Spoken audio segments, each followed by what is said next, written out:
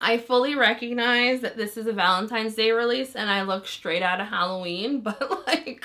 So keep me in your sight, cause I can do this all night. Hey everyone, it's Nicole from Nicole Loves Nails. Welcome to my channel. So today's video is for a surprise collect, a little surprise to me, I didn't know this was coming, release from Orly. This is their Valentine's Day trio. As far as I know, it doesn't have a name, it's just Valentine's Day trio. I did receive these polishes in PR from Orly, but as always, all thoughts and opinions are my own. So before we get into today's video, I do want to mention, if you are new around here, hi there, I am Nicole. It is wonderful to meet you and thank you so much for clicking on this video. Do consider hitting subscribe if you enjoy nail polish related content. I upload new videos every single week featuring a mixture of indie, mainstream, as well as boutique nail polish brands. If you are in fact a returning subscriber, welcome back. How are you doing? Just how's how's everyone's week going? Okay, back to the video. So if you you are new to Orly, Orly is a mainstream brand. Their polishes are in ginormous 18 ml bottles. They are 12 free, cruelty free, as well as being vegan friendly. So I don't know if this is a limited edition release. I'm going to assume that it is. I do know that one of the polishes is a repromote and two of the polishes are brand new to the brand. As far as I know, this collection is only available on the Orly website. I have not yet seen it pop up anywhere else. As per usual, I will have links in the description box where you can purchase this polish. See, obviously the Orly website,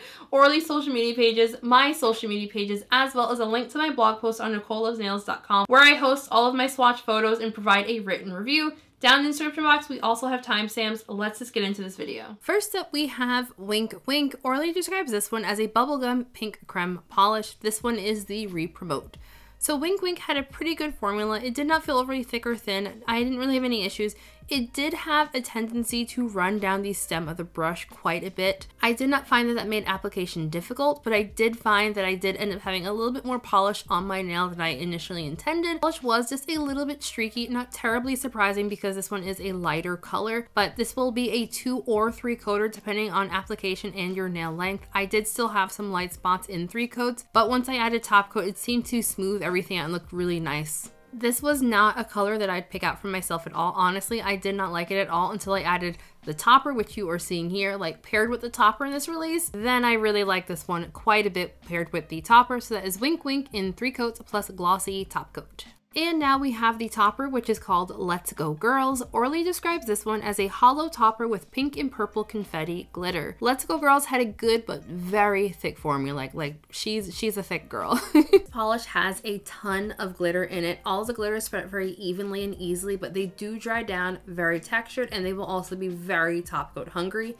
If you use this one in one coat as a topper, I would say you're probably going to want to do two coats of top coat to smooth everything out if you build this one up in say two coats, you're likely going to want to use three coats to smooth everything out. I did two coats for my full hand swatches and two coats of top coat and I still had some texture with this one. If you wanted to reach more opacity, I would highly caution against building this one up in three coats and I would say probably sponge it on. Because this polish is so thick and the glitters are so textured, if you build this one up in three coats, you're going to add a lot of bulk to your nail, which is why I only stopped at two. Personally, I think it looks fantastic as a topper and I loved it built up in two coats as well. And of course, I don't need to tell you, removal for this polish is going to be extremely difficult.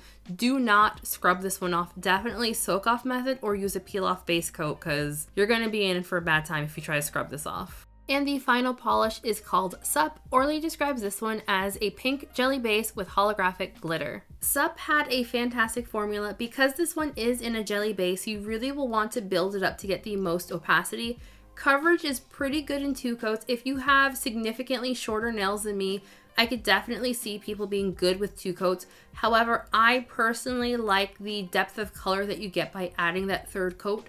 If you have longer nails, you're going to want to use that third coat to get more opacity and cover up visible nail line. And visible nail line with this one is pretty minimal I found in three coats.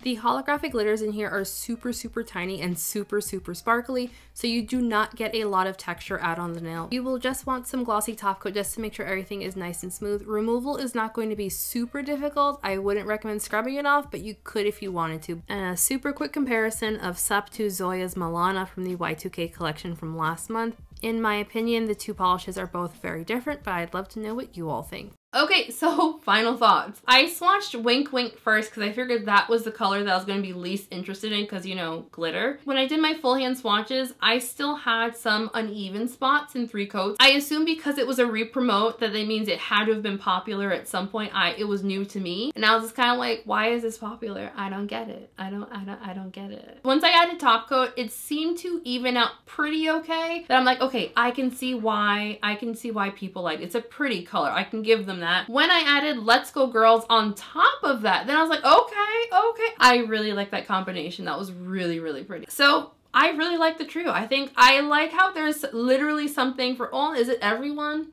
I feel like there's something for most people. Like if you hate glitter, you're probably not gonna love the trio, but I freaking love glitter, so I freaking love this trio. Let's Go Girls is definitely gonna be like my standout top pick. It's glitter, there's there's matte glitter, there's holographic glitter, like it's sparkly and it's pink and I love it, but like all three polishes I genuinely really did enjoy. I will say when I swatched Let's Go Girls, the feeling that I got swatching that one was kind of the feeling that I had hoped to get for the Kelly Marissa collab glitters. I really wanted to love those, like I like them, but I didn't love them as much as I love this one, but like pink, so. Surprise! I would love to know what you all thought of this release. Like, are you planning on picking it? Have you already picked it up? Again, as far as I know, it's only available on the Orly website. At the time of recording, each polish is available for $12.50. Again, that's 18 ml, so it's actually a really good price. If you would like to get all three polishes in a bundle, that one is priced at $30, and there are a couple other bundles with like base coat, top coat, etc., etc. So I don't know how long this one's going to be available for, but you know, it's available right now at the time of recording. Update, I was just reading the website. These these are in fact limited edition, so they might not be around for too long. Before we end today's video, I do want to give a very special shout out to my channel members. Besties, thank you all just so much for all your love and support. I love you guys. Your names are all on the screen right now. And we have a members live stream happening this Friday at 6.30 p.m. Eastern time. So again, if you want to join channel memberships, I have a link in the description box. Everyone else, thank you all so very much for watching today's video. Please do not forget to hit that like button and hit subscribe if you have not yet already, and I'll see you all in the next video. Bye!